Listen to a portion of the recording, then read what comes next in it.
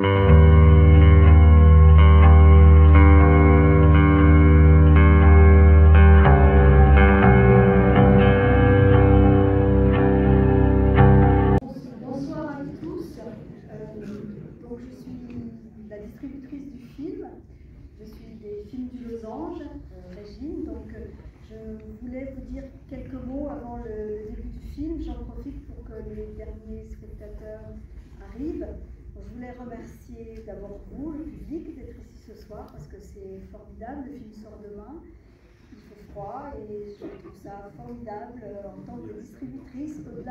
propre film, qu'il ait autant d'yeux passionnés de cinéma pour être là ce soir et, c'est très très touchant.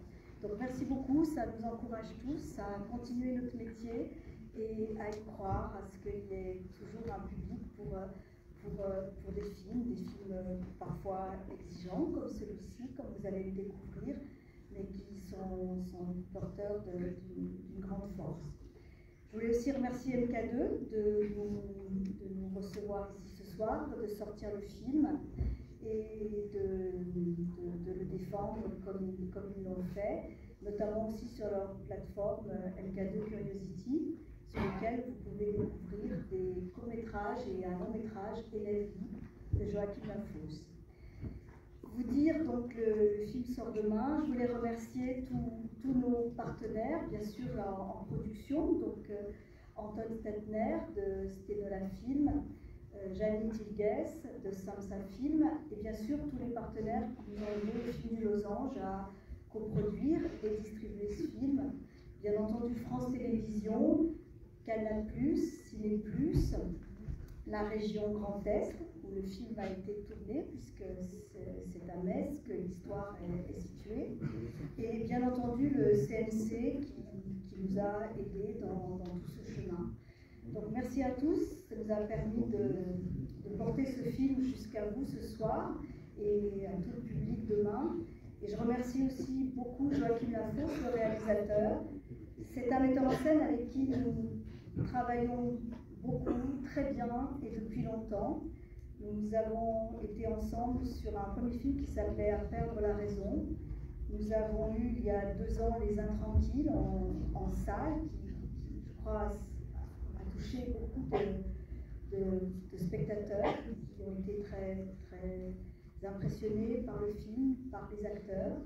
Et là, ce soir, à nouveau, sur ce film Un silence, où nous retrouvons des acteurs que, que nous aimons beaucoup, qui là aussi livrent une performance très forte et, et très belle.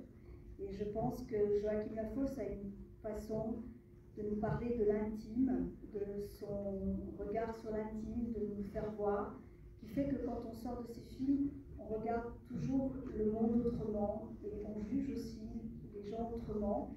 Et chacun de ces films renvoie à notre propre vie et notre propre histoire. Donc euh, c'est un bonheur, je crois, pour nous tous d'avoir travaillé avec euh, Emmanuel DeVos, avec Daniel Auteuil, avec Jeanne Chéral et tous les autres comédiens. Je ne peux pas citer tout le monde, mais ça a été une très belle équipe et un très très joyeuse et belle entente. Voilà, donc euh, je voulais vous remercier, vous dire que à l'issue du film, donc ça sera la première fois que tous les comédiens, donc Emmanuel DeVos, Daniel Auteuil, Jeanne Chéral et Joachim Lafosse seront réunis ensemble. Donc on en est très heureux, je pense que c'est un très joli moment. Alors ce n'est pas moi qui ferai la, la modération, parce qu'il y a un journaliste qui a beaucoup beaucoup aimé le film, qui s'appelle Renaud Barognan, du Parisien, et qui avait vu le film il y a très longtemps, il y a six mois, au Festival de Valenciennes, et il a beaucoup aimé le film, et j'ai pensé que c'était très fort et très bien que ce soit lui qui ait la parole, et puis c'est beaucoup mieux faire que moi pour poser des questions. Alors, je vous remercie à tous beaucoup d'être là ce soir, le film sort demain, et voilà, je vous souhaite une très belle soirée.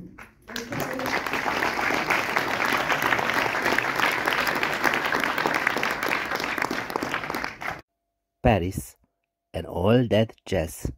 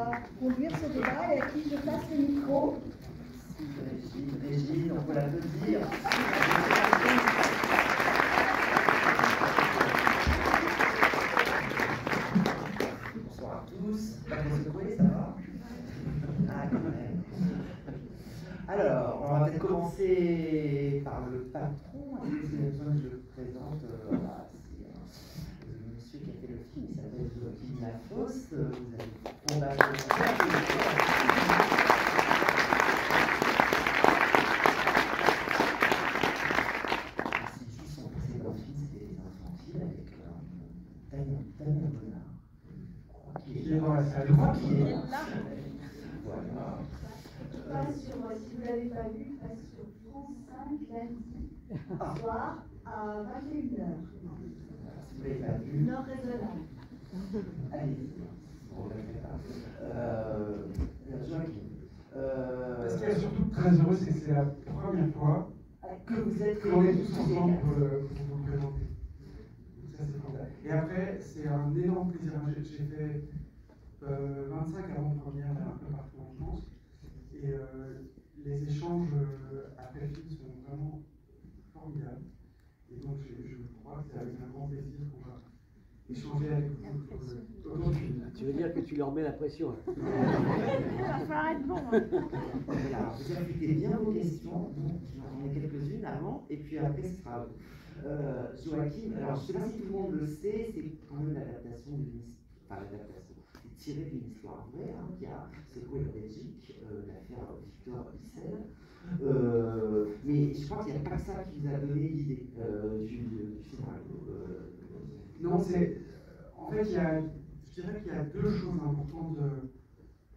Évidemment, quand on se met à écrire un film, d'abord il y a l'intention, on ne sait pas exactement, mais on sent qu'on est attrapé par quelque chose.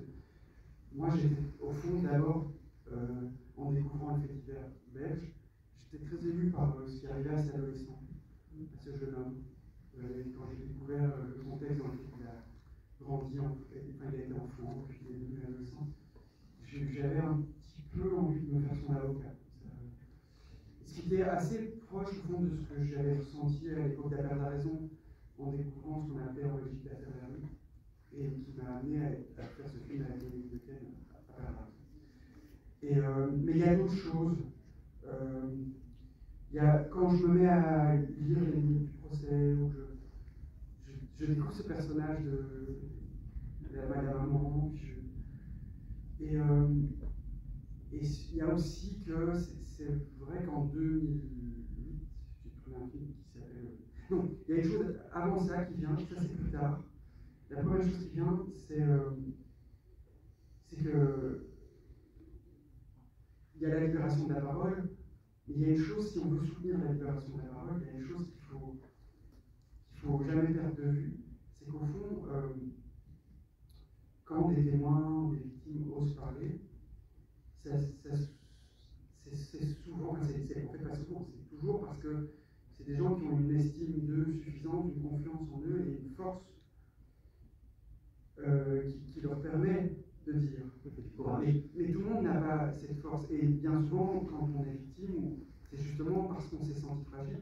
Je pense qu'Astrid, elle n'a pas rencontré euh, euh, l'avocat, elle n'a pas rencontré par hasard. Cet homme l'a séduit aussi de par la manière dont il pouvait la rassurer, dont il pouvait s'imposer. Euh, et puis il y a une autre chose, en fait, j'ai commencé à écrire le film avant de tourner, continuer. Là, j'ai tourné, j'ai écrit des, premières versions comme ça, j'ai tourné continué, je l'ai repris, j'ai encore, j'ai tourné euh, Les Intranquilles, et après Les Intranquilles, j'ai repris l'écriture. Et là, il y a quelqu'un, euh, mais très proche, qui, qui m'a. Enfin, en fait, excusez-moi, j'en ai, parlé beaucoup aujourd'hui. euh, donc, euh, je sais plus ce que j'allais dire. Vous avez, vous avez, vous avez, vous avez renvoyé un film. vous avez- Non, c'est ça, merci, merci. Euh, donc en fait, en 2009, je tourne un film qui s'appelle euh, En 2008, Élève libre, et le film sort en 2009. C'est un film, à l'époque, j'ai pas osé le dire très fort. C'est un film qui était très autobiographique, qui raconte un moment de mon adolescence. Euh, L'histoire d'un- d'une période de ma vie qui a été assez violente. Et,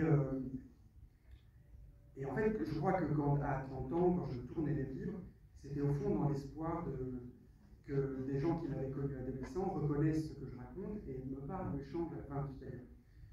Et en fait, euh, ce que j'ai découvert à la sortie de ce film, en 2009, c'est que ces gens justement qui m'avaient connu adolescent, je les voyais plutôt changer de trottoir quand, euh, quand je les croisais. Et moi, j'ai commencé à avoir honte, je suis devenu assez silencieux, euh, et encore plus qu'avant avoir fait le film. Et puis, euh, et puis, juste après le tournage des Intranquilles, quand je reprends l'écriture d'un silence, il y a euh, quelqu'un qui m'est très très proche, qui, m'a appelé très ému, euh, en s'excusant de ne pas avoir vu elle plus tôt, et tout de suite en me demandant comment j'allais. Et à ce moment-là, euh, en discutant avec cette personne, je me suis rendu compte que, au fond, elle savait ce que j'avais raconté dans ce film, mais elle ne voulait pas le voir. Et, mais qu'elle était aussi, elle, honteuse de ne pas avoir pu euh, me, protéger, en fait. Euh, euh, et donc, elle était aussi, elle, envahie par la honte. Et c'est à ce moment-là que j'ai commencé à, me dire qu'il y a quelque chose autour de la honte. Et, puis, en fait, très peu de temps après, en fait, ça correspond à peu près au même moment où j'envoie une première version à Emmanuel Debos, et qui me dit, on n'y est pas encore tout à fait. Et là, je me remets à travailler et je reprends le point de vue d'Astrid. Euh, et, et donc, euh, le film est devenu ce qu'il est. Une chose est sûre, je crois que pour faire un bon film, il faut en passer par le point de vue de tous les personnages. Voilà. Et ça, j'ai la fin de l'écriture correspondait au personnage d'Astrid. Alors, Astrid, justement.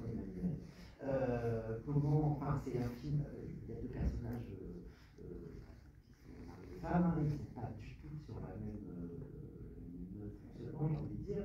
Vous, vous êtes plus dans, enfin, Astrid, elle est beaucoup dans les silences, dans les ténèbres, euh, elle fait beaucoup passer des choses, enfin, des choses comme il faut, hein, euh, par les yeux, par, le, par le silence même. Euh, c'est difficile, comment, vous avez abordé euh, le personnage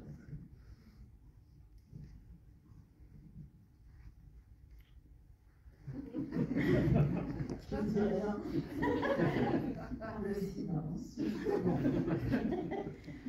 Comment je- C'est très étrange parce que je- j'avais déjà quand même lu beaucoup de choses sur euh, dont heureusement on parle de plus en plus. Et j'étais toujours très étonnée de la, par exemple dans l'inceste, de la position de certaines mères. Et donc j'ai lu beaucoup de choses là-dessus et contrairement malheureusement à ce qu'on peut croire, euh, une mère ne protège pas forcément ses enfants.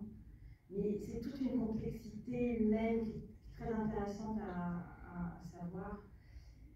Et euh, je me- je sais pas, j'ai un peu plongé comme ça. C'est vrai que par moments, on peut se dire qu'on va juger un personnage parce que il y avait vraiment des phrases qui me paraissaient mais sidérantes à dire, des, situations à vivre qui me paraissaient folles. Mais finalement, on a répété beaucoup avant de tourner, et puis c'est rentré petit à petit. Et après, il faut quand même dire que avec Daniel, c'est aussi très facile parce qu'on avait déjà tourné ensemble dans l'adversaire. On avait déjà des relations un peu compliquées. on avait des relations très apaisées dans les films qu'on a fait ensemble. Et non, mais c'est facile aussi de, voilà, de se dire que quand on a un mari comme ça, ben, on- on- depuis longtemps, euh, c'est facile aussi de, de, voir qu'on peut être euh, hypnotisé et que. Voilà, n'écoute pas Daniel. une sorte de d'hypnotisme, l'amour, et petit à petit, on se laisse entraîner à mentir, à taire, à, voilà. Donc c'est. Voilà, puis le travail avec Joachim était assez passionnant. C'est un personnage un peu pas difficile à vivre, enfin physiquement me faisait un petit peu mal quand même euh, tous les jours. J'avais quand même une sorte de poids sur le plexus avant chaque scène.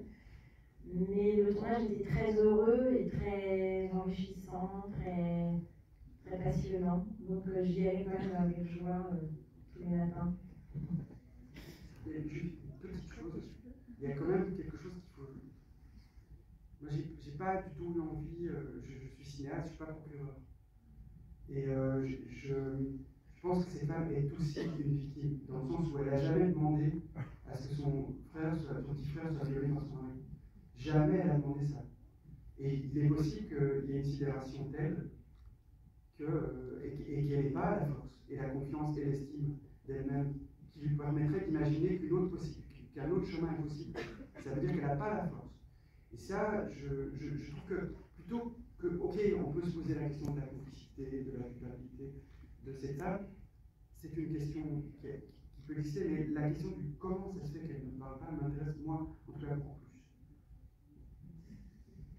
plus. Daniel Oui euh, alors, Comment j'ai abordé le personnage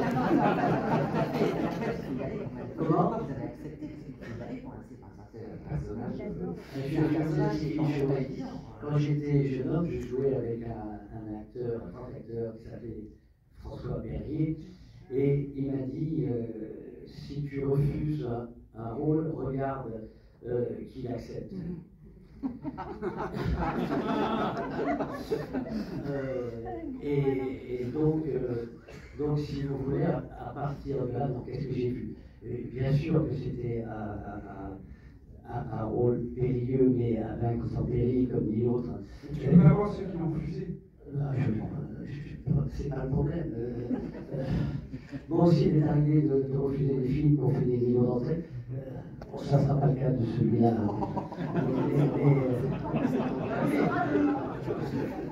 Mais, en tout cas, si vous voulez, j'ai bien fait d'accepter parce que vu les réactions du, public et de la presse. Donc, alors, comment j'ai préparé ce film? Un, secret, un petit secret d'acteur que je vais vous livrer. Emmanuel parlait de notre aventure, de ce, de film très fort qui était les, l'adversaire. L'adversaire. Et euh, qu'est-ce que j'ai fait? J'ai joué les mensonges, mais j'ai occulté les, les, meurtres.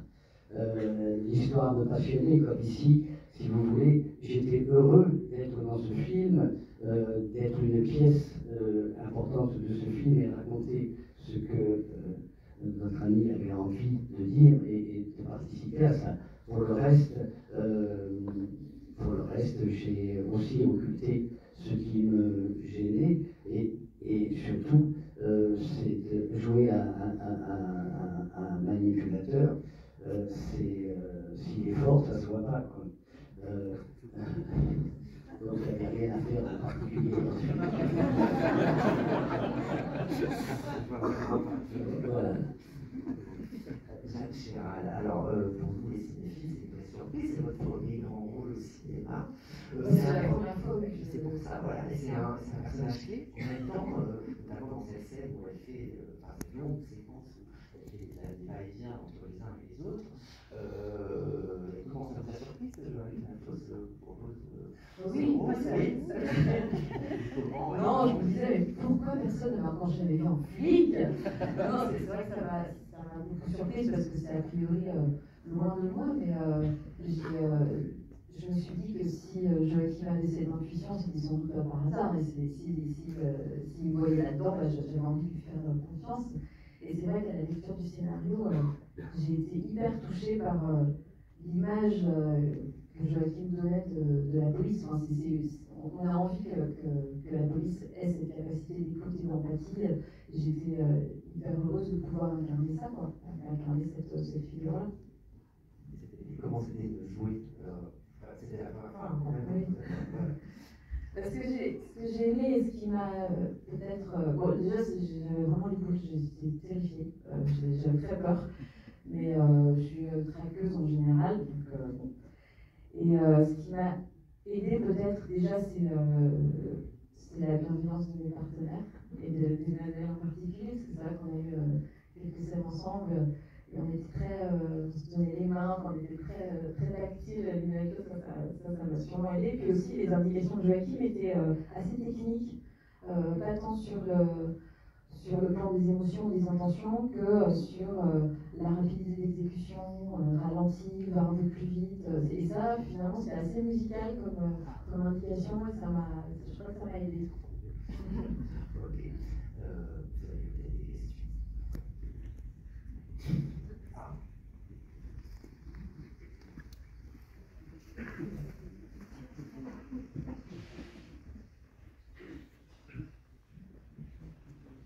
Euh, bravo, déjà, à vous tous, c'est, brillant euh, comme d'habitude, si j'ose dire. Euh, j'ai juste un petit point de secondes en disant effectivement, je trouve ça brillant dans, toutes les, le millefeuille des, dommages collatéraux que ça raconte, et vous avez une capacité à chaque fois, à, je trouve, à, montrer des scènes ou ne pas les montrer. Le choix, je le trouve à chaque fois hyper judicieux sur ces ellipses-là.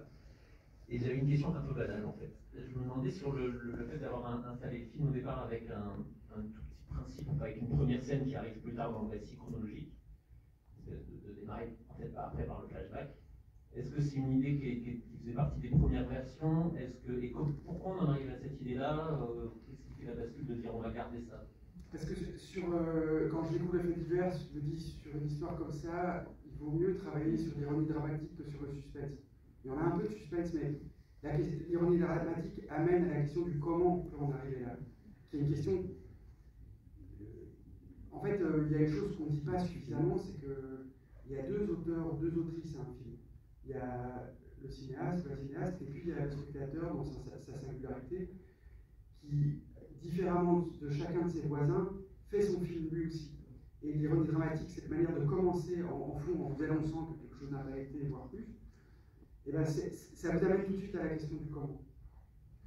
Qu'est-ce que j'aurais fait moi? Voilà. Et donc ça, ça rend actif quoi.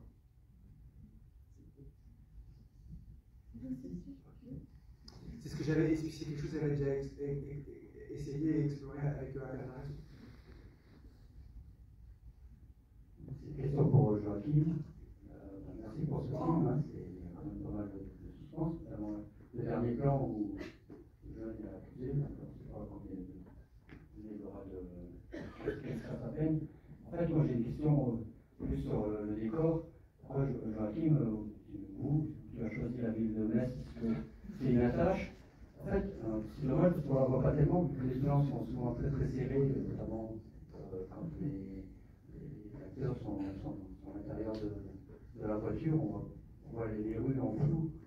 Donc, euh, c'est je crois pour, c'est volontaire, mais est-ce que tu as des attaches avec oui, non, Parce que moi-même, je suis gymnastique de Metz. C'est pour ça que je pose la question. Non, en fait, euh, il y a une chose, je décris quand même euh, un milieu bourgeois. Alors, il n'y a rien qui statistiquement démontre qu'il y a plus de criminalité sexuelle dans les familles bourgeoises que dans les familles plus précaires. Il y en a autant. Par contre, il y a une chose que je connais venant de la bourgeoisie, c'est que dans la bourgeoisie, euh, on se tait. On garde, peut-être parce qu'il y a aussi beaucoup à perdre, euh, mais et à partir de ce moment-là, de, ce, de cette, réflexion-là, il s'agissait de trouver une maison qui incarne cette, euh, cette, bourgeoisie. Il se fait que le film avait eu le soutien de la région Grand Est, euh, et que donc on avait la possibilité de tourner là-bas, et j'ai fait des repérages. Et il fallait aussi que je trouve une maison parce qu'il y a une chose quand je découvre le fait divers, toute simple, c'est que je n'imagine pas de faire ce film sans pudeur. La forme qu'il faut donner au film me semble tout de suite être, faut que ce soit public et sobre. Et il y a, alors, il y a deux manières pour moi d'être public et sobre sur ce genre de récit. Peut-être d'abord et avant tout, il y a la gestion du hors-champ. Pas tout montrer pour pas vous traumatiser, d'une certaine manière, elle vous permet de, continuer, à réfléchir. Et deuxièmement, euh, le plan séquence est quand même un, outil qui à la fois me permet moi de vivre ce plaisir avec les acteurs, de les voir écrire et leur permettre d'élaborer, de déployer leur imagination créatrice. Et en même, et en même temps, il faut un espace pour pouvoir écrire ces plans séquences. Et comme je ne suis pas un grand fan du Steadicam, qui pour moi a quelque chose d'un peu sexy comme ça, dans tous les films Netflix, on voit les Steadicam, ça, ça flotte. Je ne voulais pas de ça, je voulais quelque chose de plus classique. Et donc on a décidé avec le directeur photo, qui je trouve fait un travail formidable, très casse-cou, parce que quand même, il va parfois à la limite, mais il fallait trouver une maison qui permette de se déplacer avec une dolly euh, dans tout, dans tout le, le rez-de-chaussée, quoi, et avec des portes assez grandes. Et on a beaucoup, beaucoup cherché, puis on est tombé sur cette maison à, au port Saint-Martin. Voilà. L'idée aussi, c'est que ça se passe pas en Belgique, hein, je crois. Que... Oui, j'avais aussi un, envie de prendre un peu de distance avec, euh, avec la Belgique. Euh. Bonsoir. J'ai une petite question. Euh, on voit donc à la fin euh, du film, quand Daniel Auteuil euh, a souhaité faire embrasser son fils, est-ce qu'on peut dire que c'est la chute de l'histoire? Parce qu'on peut considérer aussi que c'est comme, comme s'il avait avoué, en fait, le personnage. Puisque le fils a voulu le tuer, en venant faire la bise, c'était pas normal. Donc c'est une forme de. Alors, j'en reviens à ce que je vous disais tout à l'heure, c'est que heureusement chacun fait son film. Et donc, euh, moi, il y a une chose en tout cas je peux vous dire, je, sais que très vite, je voulais aller jusqu'au procès. Parce que je voulais faire entendre et faire voir la manière dont lui, c'est lui, dont lui ne répond pas aux questions qu'il pose aux journalistes. Et dont la journaliste, sa, sa, sa, son avocate défend la prescription euh, face aux questions des journalistes. Et je voulais aussi qu'on sente que, que elle s'est de nouveau rangée du côté de sa fille. Parce qu'un des effets de ce, du venin de ce film dans cette maison, c'est quand même que euh, finalement Astrid ne voit plus son frère depuis des années, que euh, sa fille ne peut plus amener son, petit-fils chez elle, et elle a bien, raison. Et donc c'est quelque chose qu'on observe quand dès qu'on parle, qu'on qu observe ce qui se passe dans, une maison où il y a eu une criminalité sexuelle au, boulot, c'est que souvent c'est plutôt les victimes qui sont sorties de la maison que le criminel. Voilà. Euh, je, je sais plus pourquoi.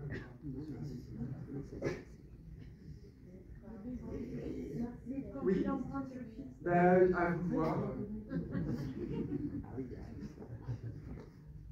Et des questions en tout cas, c'est, c'est, c'est, je l'ai pas inventé. Des questions pour Daniel, Emmanuel, Jacques Alors, moi j'ai deux questions. Euh, juste avant euh, le, le, moment où euh, on découvre en fait euh, tentative de meurtre et puis euh, du moment où il est bourré à Raphaël, euh, on voit un plan euh, où il y a Raphaël qui est en train de fumer, plan très large avec un bâtiment rouge sur la droite. ce plan est arrivé là, je ne sais pas trop pourquoi. juste avant le moment où il récupère l'alcool et puis les clés, il part. Et puis, deuxième chose, donc ça c'est un peu pour tout le monde, c'était euh, finalement quel personnage est le plus malade? Est-ce qu'ils sont tous un peu malades? Non, c'est très J'ai ni joué au, au, médecin ni au procureur. à vous de voir.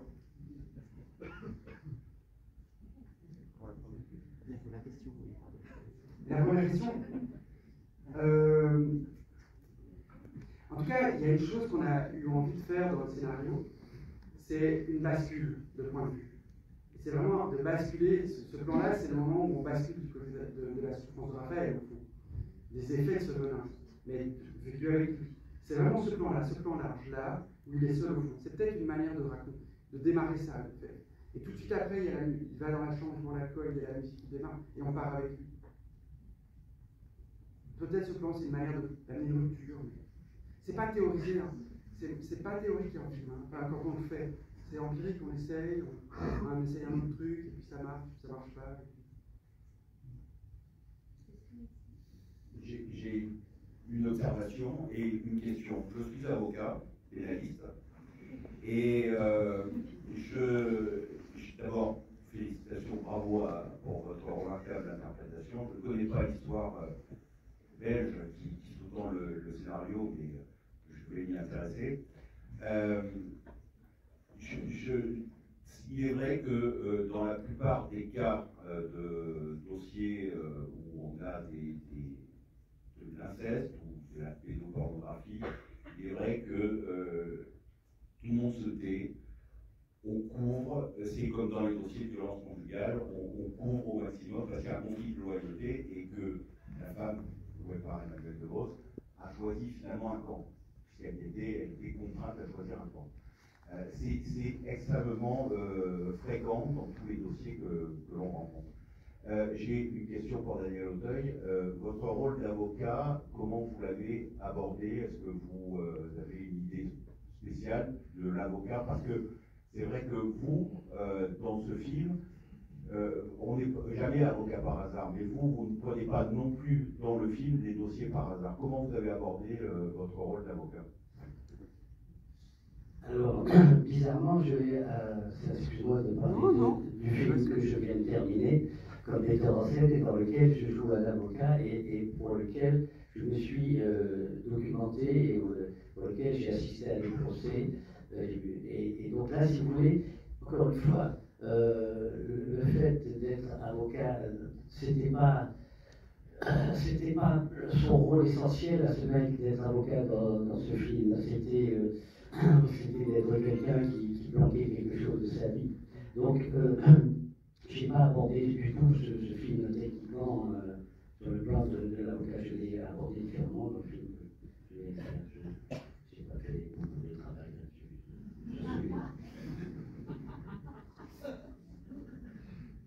Bonsoir, je suis Razi. Euh, merci pour ce moment et pour ce travail de, vraiment très fort au niveau de, de l'acting, tous les trois. euh, et Gérald, vous m'avez vraiment beaucoup saisi. Et j'ai une question euh, sur un moment du film, pour Emmanuel et, et Joachim surtout, sur une piste euh, qui, qui, qui m'a fait poser des questions, euh, et sur la scène euh, de, de la danse, euh, sur la, chanson du film. Alors, rassurez-vous, si cette scène vous a mis mal à l'aise, c'est que vous allez bien. Ouais. mais, mais sur ce que ça dit du personnage, c'est l'inverse qui serait problématique. Mais, mais qui n'est- pas développé, donc j'avais envie de, parler. c'est- la scène dont on a le plus discuté au montage. Et moi, j'ai tenu à la garder parce que je trouve que cette scène euh, montre une, chose, c'est la détresse d'Astrid. Et surtout, surtout, c'est là, en l'occurrence, on voit bien le venin du film. Dans le sens où, euh, évidemment, comme on, on- on- quand même, euh, quand je venais à, à découvrir le je, je, il s'agit quand même d'un fils qui tente d'assassiner son père. Difficile de pas quand même un peu questionner la logique lesbienne des, des personnages. Mais il y a une chose, euh, et, un peu, pendant longtemps, j'ai pensé que un homme, une femme, un parent qui veut faire grandir euh, son enfant euh, correctement, c'est quelqu'un qui vient séparer de l'autre parent, peu importe que ce soit un couple homosexuel ou hétérosexuel. Mais il y a à séparer. Et en fait, avec euh, la fille, j'ai découvert, enfin, j'ai compris un truc qui est que je crois que ce qui permet aux enfants de grandir euh, le plus paisiblement possible, c'est euh, de vivre dans une maison où, euh, il y a un désir de, de chacun des parents l'un pour l'autre. Ça met tout le monde à la bonne place en fait. Sauf que le crime, en l'occurrence là, ce crime, il empêche ça dans cette maison. C'est évidemment, euh, elle n'est plus dans le désir, lui est mal placé. Et donc les conséquences de ça, c'est que malheureusement, dans sa détresse, elle, à un moment, oui, ça déborde. Elle se dépose, elle, est, trop proche de son fils, malheureusement pour elle, malheureusement pour lui. Mais euh, j'avais pas envie de, d'oublier cette, part-là de- des conséquences du venin, du crime. Euh, parce que aussi, euh, ce qui est terrible, c'est que Daniel, il est derrière la porte. Mais en même temps, il ne peut même pas rentrer pour dire Mais non, c'est- avec moi que tu devrais lancer. Tout est pourri par, le crime. Et par, la manière dont euh, cet homme, qui pour moi n'en est pas un, c'est pas un mèche, euh, il ne s'est pas empêché. Et il n'a pas empêché, et il a laissé circuler les, cassettes dans la maison. Et donc, et donc son fils finit par, euh, à son tour, regarder les cassettes sans se demander si c'est un interdit, ou en tout cas en étant incapable de se, voilà, et ce qui fait que, qu'on devient des hommes ou des femmes qui peuvent à leur tour euh, porter des enfants qui deviennent des adolescents, c'est parce que des adultes se sont empêchés face à nous, euh, face à notre désir d'adolescent, d'enfant, euh, qui peuvent être complexes et ambigus, mais on s'empêche pour que plus tard, à leur tour, les adolescents deviennent des adultes qui s'empêchent aussi. Et là, en l'occurrence, il n'y a, rien de ça dans cette maison. Et voilà ce que ça engendre.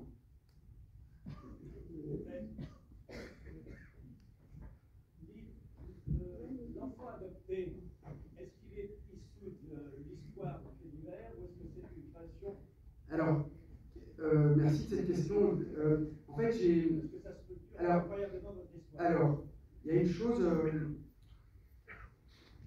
quand j'ai fait la, quand j'ai accompagné Élève Libre, je me suis rendu compte d'une chose assez effrayante, c'est que il y avait une bonne partie du public dans la salle qui finalement ne trouvait pas ce qui arrivait à cet adolescent très très grave, que c'était un apprentissage, que finalement il obtenait son diplôme, que tout ça prend même la sexualité, c'était peut-être un peu vrai au fond. Alors que je faisais un film qui essayait de dire la nécessité des, limites. Et euh, ben, 15 ans après, euh, je trouve absolument magnifique qu'on soit là, euh, collectivement, en fait, à essayer de s'interroger sur les fondements de, l'interdit universel, du respect des générations, de l'interdit de l'inceste. Et, et, en fait, en écrivant, en réfléchissant au personnage de Raphaël, je me suis dit qu'en faire un enfant adopté, ce qui n'est pas dans le c'était une manière aussi de dire que la criminalité sexuelle, elle n'est pas génétique, elle est culturelle. Et c'est ça la question magnifique qu'on est, tous en train de partager. C'est que c'est culturel, c'est-à-dire ça dépend de nous, la façon dont on, va prendre soin les uns des autres, où on va protéger et, percevoir et, trouver une vigilance qui n'a rien de frustrant, hein, je vous assure, ça apaise. Euh, on va tout, tous les trois d'ailleurs, euh, de, ce jeune comédien, parce que vous avez chacun des scènes euh, très très différentes avec, euh, avec ce jeune comédien qui a. Qui, qui, Mathieu Galou. Mathieu qui, porte aussi film autant que les autres sur ses épaules. Hein. Est-ce que vous pouvez nous en parler Oui, oui, je peux vous parler d'une scène que j'ai avec lui et que j'ai trouvé absolument extraordinaire. Euh, son personnage étant totalement imbibé, tellement douloureux, tellement souffrant, j'ai une scène avec lui, euh, encore une fois, face à lui, euh, j'ai cette autorité, j'ai cette espèce de mépris, euh, et tout d'un coup, je ne sais pas par quel effet, il est contre un mur, dans la scène pour de vrai, et tout d'un coup, je l'ai vu, se confondre au mur, rentrer dans le mur. C'est vrai, ce, donc il y, a, y a quelques jours, il je ne sais pas s'il a été intellectuel, sa façon de réagir, c'était totalement physique. Il a ressenti ce rôle très physiquement, très physiquement. C'est ce que j'ai ressenti, voilà ce que je vous dis. Il est en Australie en année sabbatique. Ah, c'est très bien, je vous passe ma carte. Moi, ce que j'ai ressenti euh, sur les quelques scènes que j'ai, enfin, la, scène de l'interrogatoire que j'ai fait, c'est qu'il était euh, hyper proche de ce qu'il est. Enfin, il a cette nonchalance pour les adolescents. il n'a jamais été, je crois, en sur-régime, quoi. Ouais, en costume, en, en surjeu. Il, est, euh, il a été super, euh, très pro, en fait. Très pro et très naturel. C'est ce que j'ai ressenti chez lui. Bah, nous, on était un petit couple. on était bien tous les deux. non, les élèves, absolument adorables. Et euh, moi, j'avais peur pour lui au début, parce que je trouvais que vraiment ce qu'il avait à jouer était vraiment pas évident, euh, surtout qu'il n'avait jamais joué, c'est pas un acteur, il ne peut pas avoir la distance. Et il a une grande solidité mentale qui fait qu'on allait gaiement euh, faire certaines scènes, notamment la danse, où euh, je lui dis ça va, mais moi je danse pas comme ça avec ma mère. Je dis non, mais moi je danse pas comme ça avec mes fils non plus. Il raconte ton histoire. Donc voilà, deux, deux toutes petites questions pour Joachim Lafos. choses. La première, c'est comment faire de l'indicible un territoire de cinéma? Est-ce qu'il y a une méthode, Joachim Lafosse, qui nous amène vers l'indicible? Et deuxième question, après des films aussi lourds, très bons films, moi j'adore, est-ce qu'on aura un peu de légèreté plus tard avec une comédie par exemple? Parce qu'à perdre la raison, moi ça m'a encore traumatisé jusqu'à aujourd'hui. C'est ça qui Là, là, je l'ai vu, hâte, c'est d'aller tourner euh, un film au soleil avec Elia et Dara et deux petits enfants de 11 ans euh, un peu doux. Voilà. On va voir si j'y arrive. Et je vous dirai à la nouvelle. Voilà. Et il n'y a, pas de méthode. euh, il y a, la seule méthode, c'est qu'il y a, euh, c'est un art collectif au cinéma absolument magnifique. On fait ça ensemble et qu'il faut essayer d'emmener tout le monde avec. euh, J'emmène tout le monde avec moi et qu'il y a autant de manières de travailler avec les acteurs qu'il y a d'acteurs. Il n'y a pas de méthode, il n'y a pas de théorie. C'est ça la théorie. Je voulais vous remercier, je crois qu'il va falloir qu'on arrête. Et je